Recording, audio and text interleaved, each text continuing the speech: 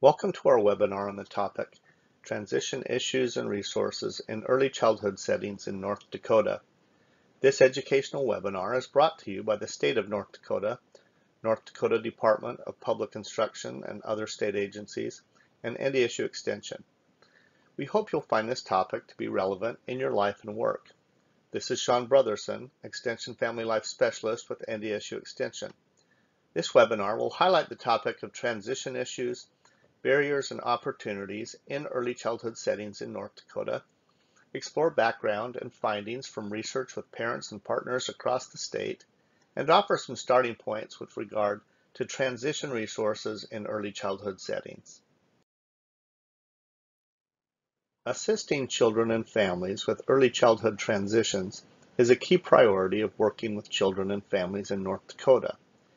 In 2019, the state of North Dakota was awarded a federal planning grant known as the Preschool Development Grant Birth Through 5, which was intended to assist states in improving their existing early childhood infrastructure and resources.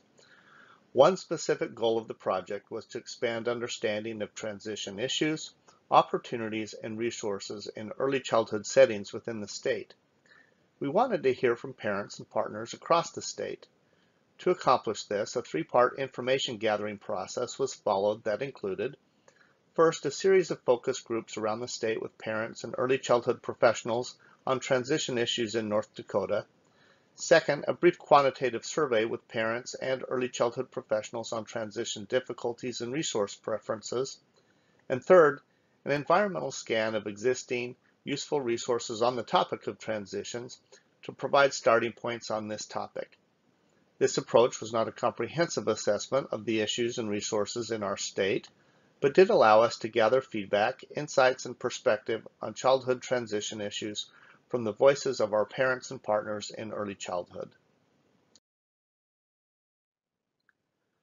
What do we mean when we refer to transitions in early childhood? A transition is the process of changing or moving from one activity, state, or place to another. The period of development from a child's birth through age 5 is a time of critical learning and experience that shapes a child's future.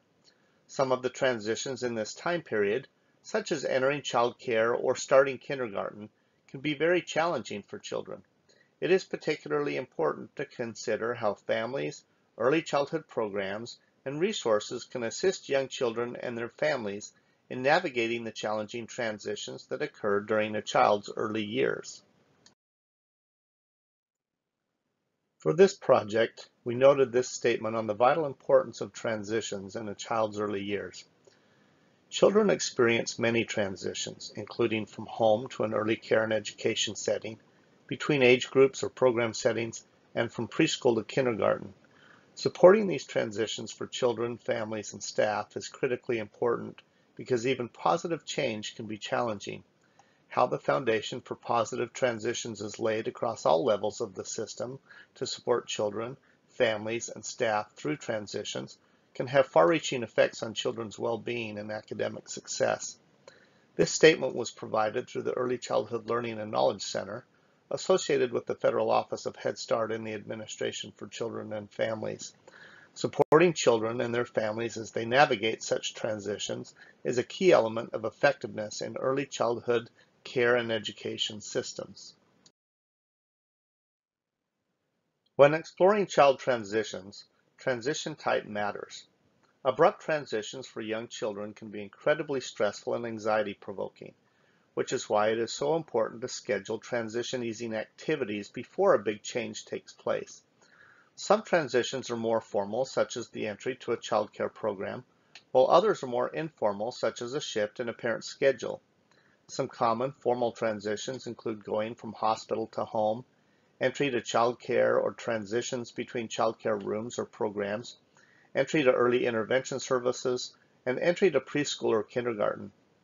Some common informal transitions include birth of a new sibling, moving to a different home or school, changes in a parent's schedule, or a change in a child's daily routine. Smooth transitions make moving from one activity to the next easier. Just like climbing a staircase, it is easier to take one step at a time instead of jumping from one floor to the next.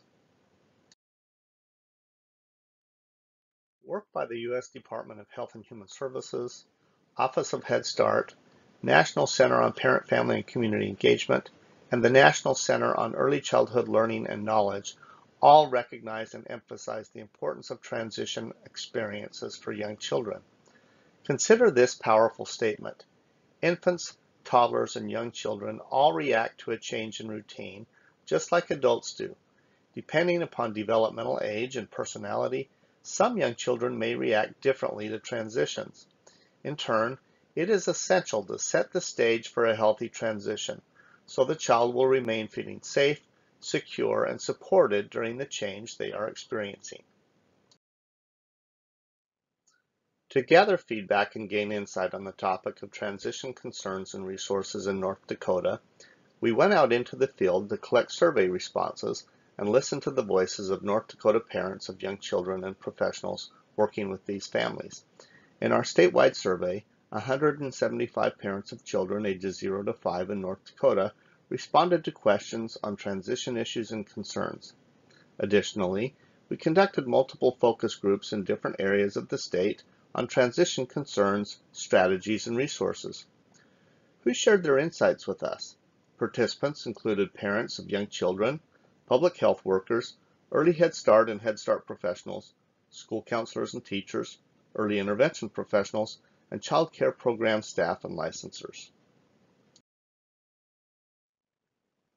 The first topic explored in the focus group and survey was rating the difficulty level of various transition experiences relating to a child's early care and education. The percentages shown are a combination of what participants rated as somewhat difficult to very difficult in particular childhood transitions. The most difficult type of transition noted was transitions in childcare, as 47.5% or one out of two participants indicated this was somewhat to very difficult. Transitioning a child from the hospital or newborn ICU to home was rated the next most difficult transition, with 36% or just over one out of three individuals suggesting this was somewhat to very difficult. Finally, the transition to different early childhood settings was rated as difficult, with one out of four noting the transition to preschool was challenging at 27.4%, while one out of five noted the transition to kindergarten or early intervention services was challenging, which were both near 20%. All of these transitions deserve focused attention but perhaps transitions in childcare and from hospital to home in particular. What is it that makes certain transitions challenging for young children? Parents and early childhood professionals and focus groups gave us some insights for particular transition experiences. With regard to transitions in childcare, some of the concerns included limited availability of spaces for children, lack of an orientation process to assist children and families as the child transitions into childcare, limited overlap time between room shifts, and the challenge of hiring and maintaining consistent employees in this environment. With respect to the transition from hospital to home, including for children who've been in the newborn ICU, some concerns included the timing of distributing information to parents. Sometimes as they transition to home, they feel overwhelmed by a lot of information given to them at one particular time. The existence of communication gaps among providers who are supporting the family and the child. The need for increased awareness of available resources to families, such as public health nurse home visits. And also the need to expand support for newborn ICU parents after they have transitioned home with their child. Finally, with regard to the entry to preschool or kindergarten, individuals talked about the importance of using best practices for managing transitions, the challenge that teachers have in dealing with differing ability levels of children in the same classroom or trying to decrease behavioral issues, and the need for using developmentally appro appropriate programming approaches with children in the early years. In focus group conversations, participants also highlighted that early intervention staff provide a key link in helping children transition between settings. that specialized service providers and support groups are key resources for children and families, but that coordinating access to services can be a struggle. With regard to entry into early intervention settings, participants suggested a need to cultivate parent awareness of key services, to support transition meetings between families and service providers, and to highlight existing transition support services such as the Right Track program, Early Intervention Part C resources, or available support groups. With regard to other early, early learning supports, access to support services can sometimes be limited by availability in rural areas or distance to reach a specialized provider. Parents also talked about the lack of communication that can exist between providers as a challenge and trying to navigate the differences in private versus public school settings with regard to support for particular services. The second major topic explored in the focus group conversations was successful strategies for navigating transitions across the early childhood care and education landscape. Four key strategies that were identified as critical to healthy transitions for young children included, first, continuity of care across settings, second, communication across different settings, third, child trauma training for providers to enhance ability to assist children and families, and fourth, using a systematic process as children experience transitions to help manage the experience. Partners and parents suggested a variety of applicable strategies for easing the transition experience for young children. First, to promote continuity of care across settings, use strategies such as conducting a daily or weekly check-in at the beginning of a transition experience, Encourage the previous provider to be present when the transition to a new provider takes place, such as with a pediatrician, and seek continuity of care for different children in the same household, such as having the same preschool teacher for multiple siblings. To foster communication across settings, facilitate parent-to-parent -parent connections for sharing information. Also, increase communication about transitions that are occurring between settings and perhaps track children who transition out of early intervention at age three to enhance support if it is needed. Other useful strategies for easing the transition experience were also suggested. With enhanced child trauma training for providers, this can help to support mental health issues of parents, identify trauma in parents or children due to circumstances like exposure to violence, and give added support to children with trauma or health issues. Additionally, using a structured or systematic process when a transition occurs might include examples such as a back-to-school night or open house to link staff, children, and families, providing an orientation experience or program such as kindergarten orientation, or focusing on small routine connections with families such as regular text updates on a child. As examples of what the focus group participants said about the importance of assisting with healthy transitions, two different individuals had this to say about teachers' roles in such transitions. One professional commented on teachers working with kids in the transition to kindergarten. They are working with kids at their levels the best that they can, grouping them into different groups so that they're at the group they need to be in. There are kids coming into the classroom, in my opinion, with more needs emotionally and academically than I've seen in a long time. Another participant observed about teachers adjusting to each child's needs. I talk with my teachers a lot about it. Yes, we all have a great deal of experience working with children, but not this particular child.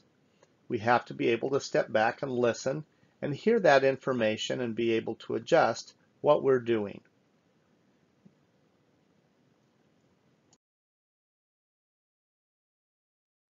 Parents and early childhood professionals also shared some of the specific challenges that exist in coordinating transitions and services among agencies and community programs. Support for children and families experiencing transitions is complicated by the issue of childcare shortages and a few other limitations across the early childhood system. In our focus groups, participants noted one key issue is the limited range of options for affordable childcare including free or low-cost preschool. A related concern is challenges with early childhood staffing, such as staff turnover or limited time with kids, which decreases support for transitions.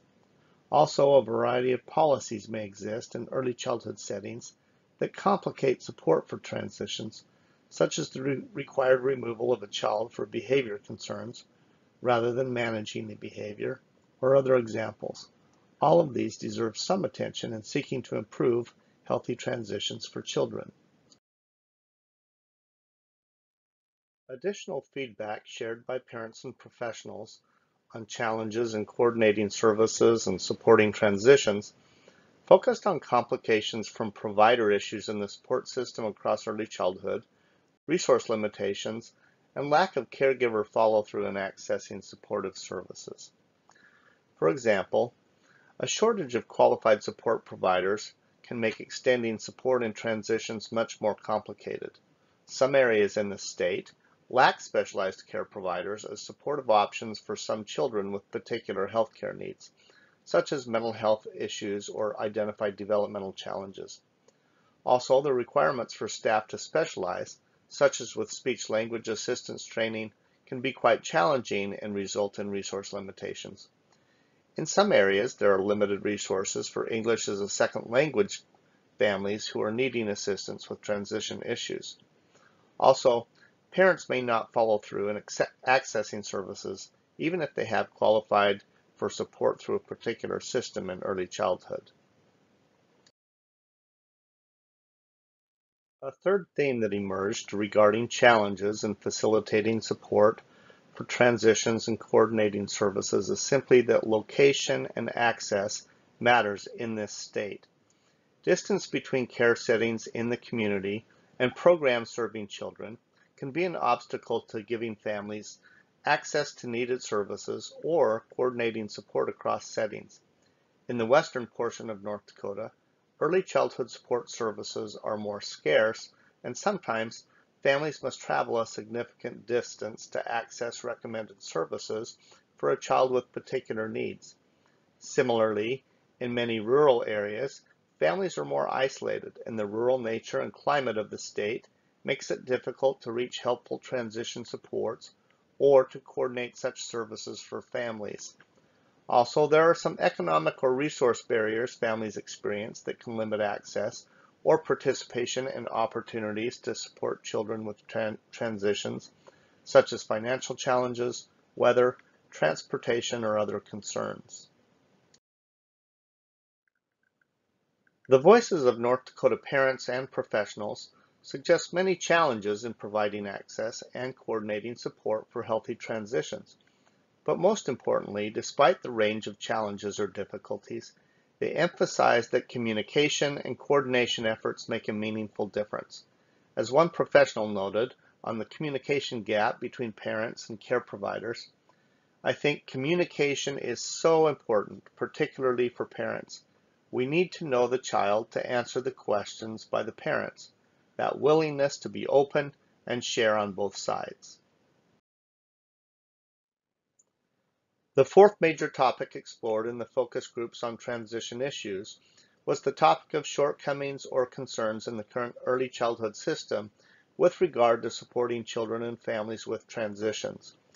When we discussed this topic with parents and professionals, these are the items they indicated as important concerns in the early childhood system with regard to supporting healthy transitions. First, there is often a broken bridge between support settings for children and families, meaning lack of communication or coordination. Second, teachers are often overwhelmed with challenges. Third, there may sometimes be a stigma related to service usage among families.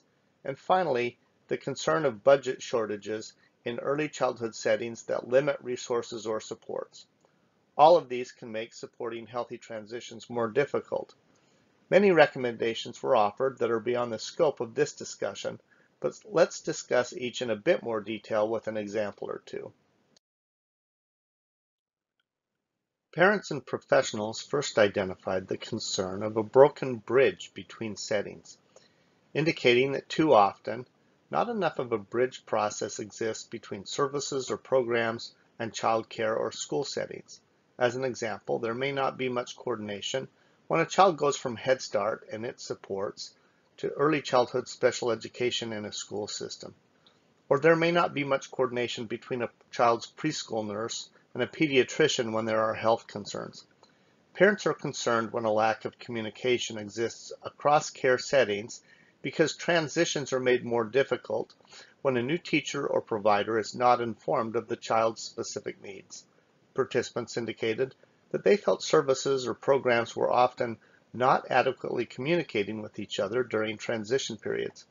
A sample recommendation, however, was that if a child is transitioning to a new setting or working with a new teacher or provider, those involved can communicate and hold a meeting a couple of weeks ahead with previous staff, new staff, and parents to support the child's needs and transition.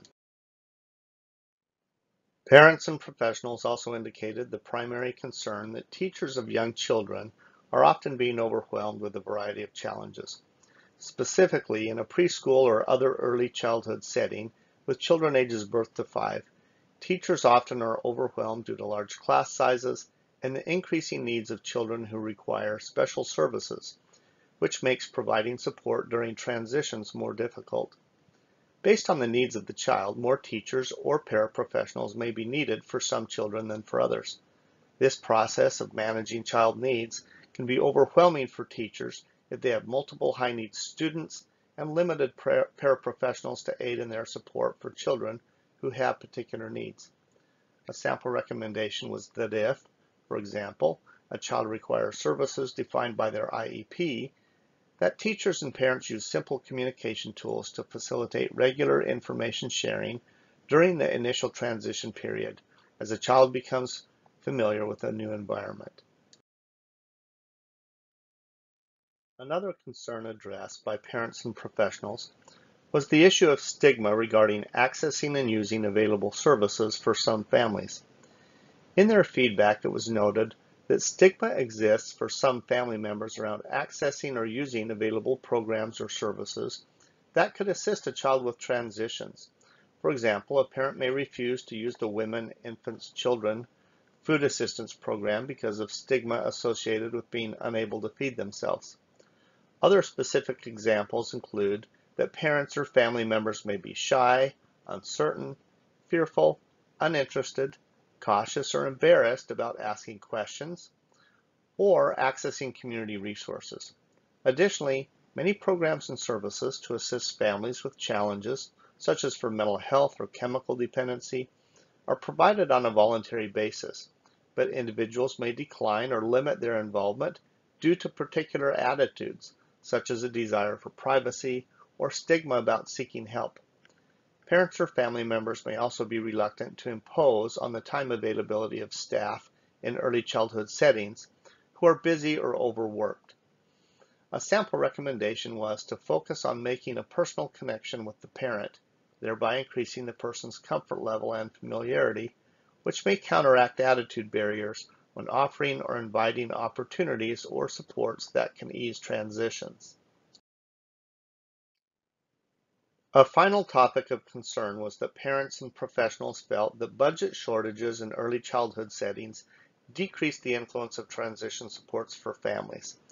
Specifically, they noted that although suitable transition easing programs that provide valuable information and support to families are available in the state, budget limitations or reductions have decreased their impact on families and communities. As an example, Programs such as Gearing Up for Kindergarten were discussed with high regard by parents, teachers, and parent educators. However, due to state budget cuts, many communities are not able to afford funding for running the program that helps in the transition to kindergarten. A sample recommendation was that parents and early childhood professionals would like to see fully funded preschools in the state, which would help alleviate the education gap between more limited resource families and higher resource families. A final topic explored in the focus group and survey on transitions focused on awareness and preferences related to transition resources and supports. 175 transition survey participants were asked to indicate the individuals or information sources that helped them as they experienced transitions with their child to new settings and which they most preferred. The results showed three distinct patterns.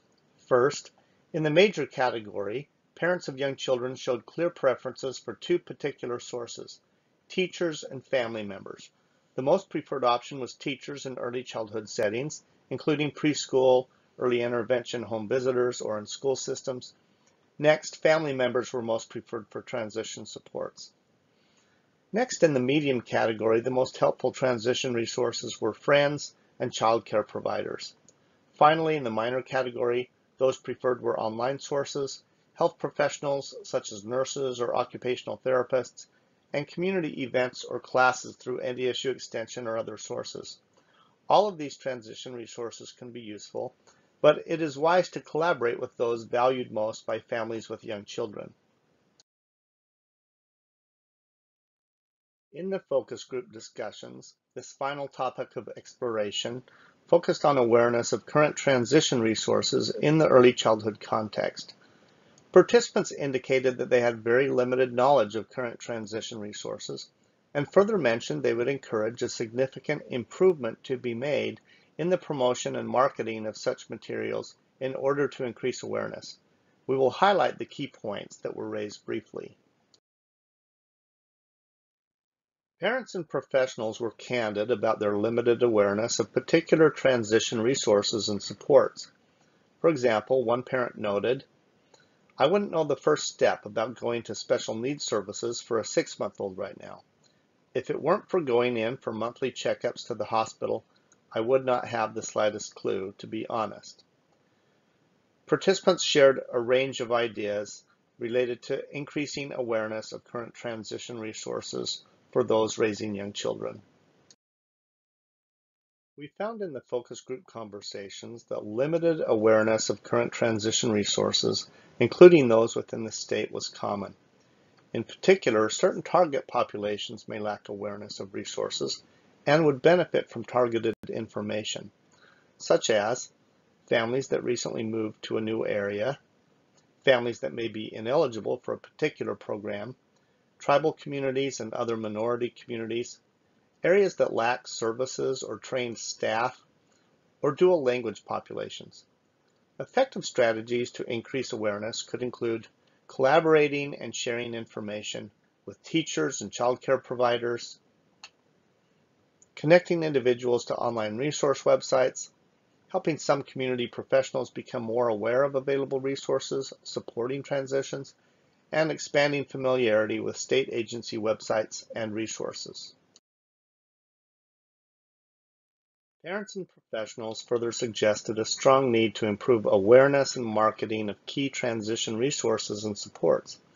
Ideas shared by participants included use key access points for families such as teachers or childcare centers where networking and sharing occurs, to increase specific reminders about transition activities by using a digital reminder, such as emails or texts, provide a calendar with transition-related activities, link online websites to local resources or opportunities and share it via social media, increase communication about resources for supporting transitions among early childhood and pediatric healthcare professionals, encourage healthcare professionals in disseminating local resources during wellness checkups, and use online and digital technologies to contact families, share resources, and raise awareness.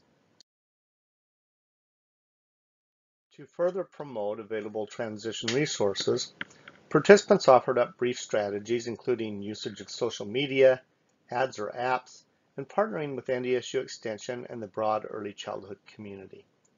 In summarizing this topic, one mother noted, I think there are a lot of services out there from birth up to preschool, but getting that information to the parent can be a real challenge.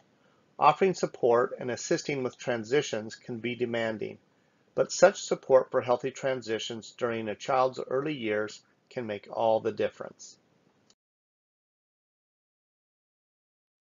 This concludes our exploration of the topic of transition issues and resources in early childhood settings in the state of North Dakota. In summary, the information included in this presentation provides a useful variety of feedback from parents and early childhood professionals on the topic of transition issues, challenges, and resources in the state. We are grateful to those who participated in providing this information and also to those who reviewed it. Our hope is that parents, early childhood professionals, and other stakeholders will find useful information for consideration in exploring issues and needs related to the topic of healthy transitions in early childhood in North Dakota. This project was made possible through a collaboration between the state of North Dakota, North Dakota Department of Public Instruction, NDSU Extension, and the North Dakota Parent Education Network. Additionally, we extend our appreciation to the parents and early childhood professionals who participated in this project.